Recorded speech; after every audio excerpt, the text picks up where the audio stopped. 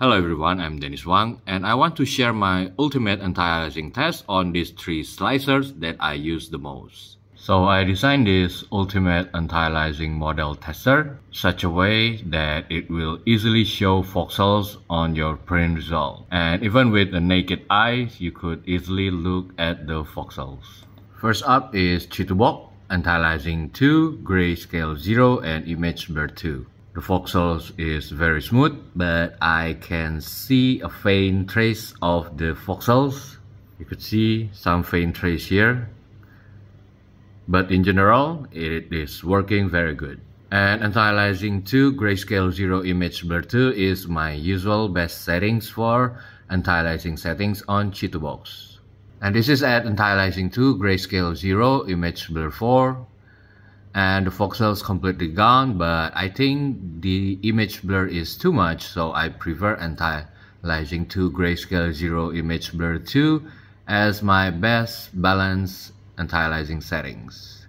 And this is for Voxeldance Tango the same settings with Chitubox anti-aliasing 2 grayscale 0 image blur 2 it has the same result with image blur 2 on Chitubox. I could see some very faint traces of the voxel here, but this is very acceptable. And this is at image blur 4. There's still some faint voxels almost similar to image blur 2, but in my opinion, Voxeldance Tango passed my anti-aliasing test.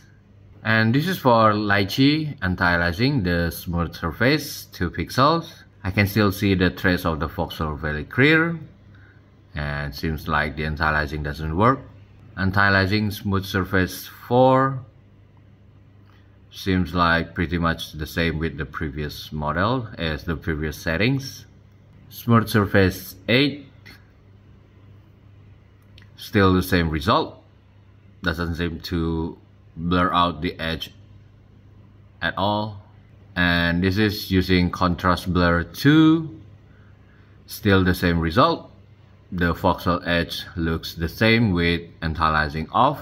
Contrast blur 4 yep the same. Voxel still exists. And contrast blur 8 yep still the same. Nothing changed to the voxel at all. So in my conclusion, Chitubox anti-aliasing works very well, Voxeldance Tango anti-aliasing works very well, but somehow the image blur 4 on Voxeldance Tango has the same quality with image blur 2 on Voxeldance Tango. But still, I will stick to my best settings on Chitubox and Voxel Dance Tango, anti-aliasing 2, grayscale 0, and image blur 2. For my test on Lychee, before I print on all these three slicer, I usually preview the slice in my computer and I could see that the edge of the voxels in the preview seems kind of blurry but somehow the print result everything shows the same and it almost as if the anti-aliasing doesn't work at all on Lychee slicer so I have no idea why and I could be wrong so you could download this model in video description and you could test it on your own. So this is my ultimate anti-aliasing test on this tree slicer. What do you guys think? Let me know in the comment section. If you like this video, kindly give it a thumbs up and subscribe to my channel.